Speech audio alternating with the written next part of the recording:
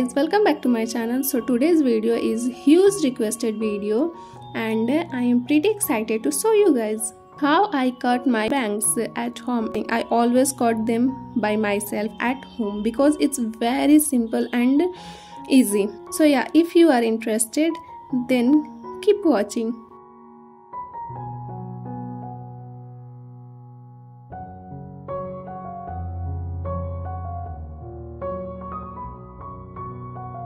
Now I'm just taking a little bit of my hair from the both side and making it into a triangle. You can take however amount of hair you like.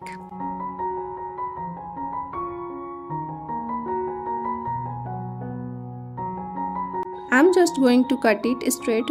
You can decide how short you want the middle frizz and yeah i am gonna cut more because i want it a little more short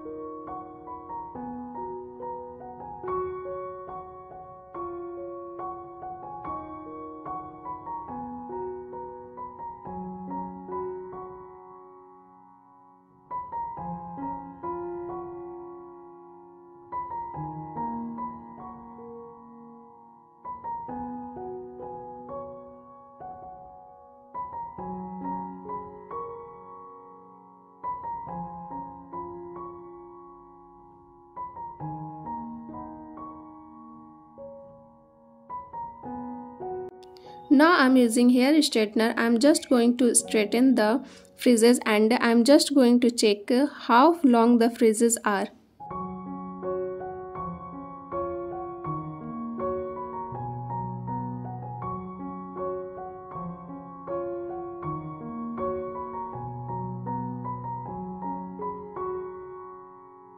So yeah guys that's how i cut my fringes or bangs at home it's pretty easy and simple. You can also do it by yourself at home. So yeah. If you like my video then don't forget to like comment share and subscribe to my channel. And i will see you guys in my next video.